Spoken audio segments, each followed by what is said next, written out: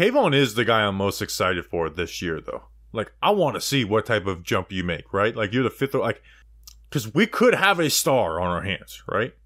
Like, Oh, not yeah. just a good player, a solid player that you're really appreciative of, and you get a second, like, like we could have a star on our hands, and I and I hope that's what we get from Kayvon.